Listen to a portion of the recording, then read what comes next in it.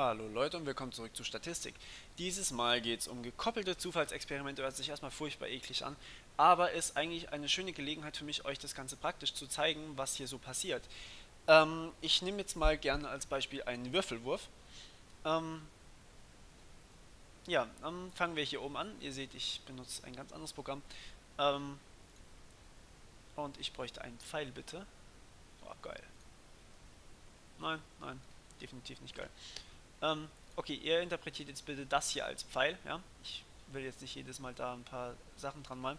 So, ähm, und jetzt hätte ich ganz gerne einen sogenannten Baum, ähm, wie das alles verteilt ist, beziehungsweise wie ich die Wahrscheinlichkeit ausrechnen kann. Das wird vor allem für die äh, Gymnasiasten, die hier vielleicht auch zugucken, hoffentlich. Wenn nicht, zeigt Ihnen äh, das Video und schickt es weiter. Ähm, für die wird es besonders hilfreich sein. Ähm, deswegen, ja, also, wir wollen einen Würfel haben. So, Start. Hier fängt man an. Gut.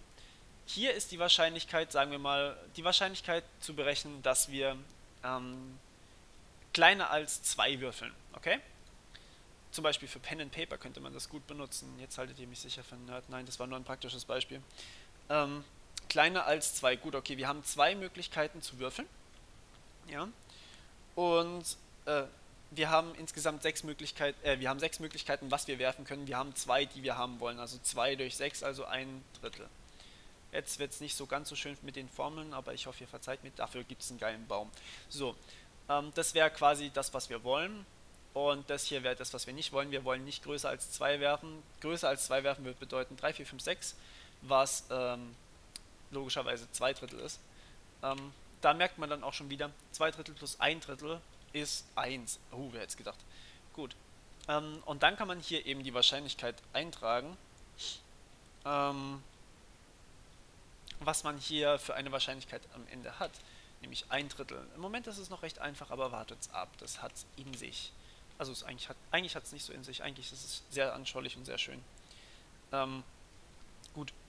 Dann haben wir hier wieder äh, mehrere Möglichkeiten. Wir wollen nämlich zweimal hintereinander. Also das ist jetzt quasi für unseren ersten Wurf. Das ist der erste Wurf von unserem Würfel. Ähm, hier ist die Seite, also nach rechts bedeutet, wir werfen größer als, als 2. Hier bedeutet, wir werfen eine 2 oder eine 1. So, und jetzt geht es aber natürlich noch weiter. Wir wollen noch einen zweiten Wurf haben. Das ist der zweite Wurf.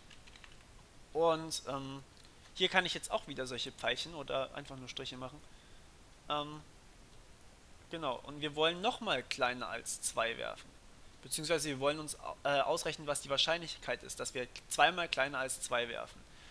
Und ähm, da funktioniert es genau gleich wie hier oben auch, nämlich ein Drittel Wahrscheinlichkeit, dass wir das schaffen. Hier natürlich auch, weil hier ist ja dasselbe. Auch wenn wir hier eigentlich schon gefällt haben, vielleicht wollen wir ja nur einmal von zweimal das werfen. Ne? Das wäre dann diese Seite hier.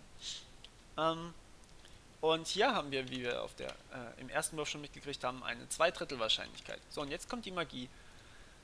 Ähm, wenn ich hier den Baum einfach runterlaufe, hier trage ich das ein, was ich hatte, also Start ist 1. Und hier habe ich ein Drittel, also ein Drittel mal 1. Und hier nehme ich einfach diese ein Drittel von hier oben, die hier, Ups. Nein, böse. Die ein Drittel vom ersten Wurf mal die ein Drittel vom zweiten Wurf. Und was ist ein Drittel mal ein Drittel? Naja, das ist ein Neuntel. Das heißt, ich habe ein Neuntel Wahrscheinlichkeit, zweimal hintereinander eine 1 oder eine 2 zu werfen. Das ist jetzt nicht gerade viel, ne?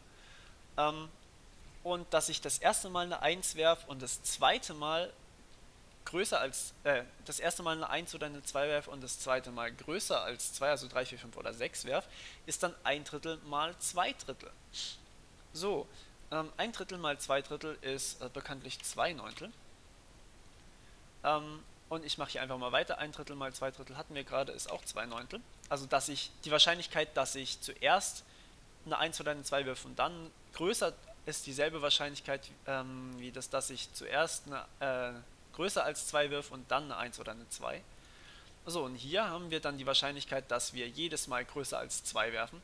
Das ist dann 2 Drittel mal 2 Drittel, also 4 Neuntel.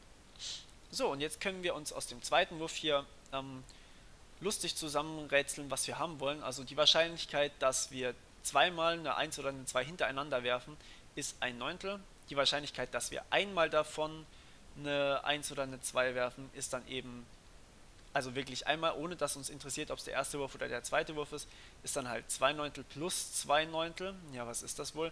Das sind 4 Neuntel. Und die Wahrscheinlichkeit, dass wir jetzt zum Beispiel ähm, ja, zweimal größer als 2 werfen, also echt größer als 2 werfen, ist dann halt 4 Neuntel. Und das Ganze macht es halt relativ anschau anschaulich. Wenn ihr nicht weiterkommt, dann ähm, schaut einfach, dass ihr so ein, euch so einen Baum aufzeichnet und ähm, anhand des Baumes dann vielleicht euch weiterhangeln könnt. Also wirklich eine coole Sache, muss ich sagen. Gut, ähm, das es dann auch schon wieder dazu. Ich hoffe, es hat euch gefallen und das Ganze mal ein bisschen anschaulicher gemacht. Und ich hoffe, ihr zockt jetzt alle beim nächsten Mal, keine Ahnung, Siedler spielen oder sowas, alle Leute ab, weil ihr wisst, was am wahrscheinlichsten ist. Ähm, ja, bis zum nächsten Mal.